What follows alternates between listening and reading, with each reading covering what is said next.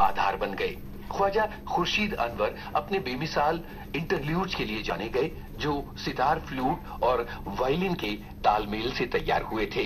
सन उन्नीस सौ उनचास में ख्वाजा खुर्शीद अनवर के संगीत से सजी एक और हिट फ़िल्म आई, जिसका नाम था सिंगार। मुख्य सितारे थे सुरैया, जयराज और मधुबाला। इस फ़िल्म में उन्होंने लोक संगीत की एक झलक भी दिखाई थी। और इस फ़िल्म के गाने गाए सुरैया शमशाद बेगम राजकुमारी और सुरिंदर कौर ने।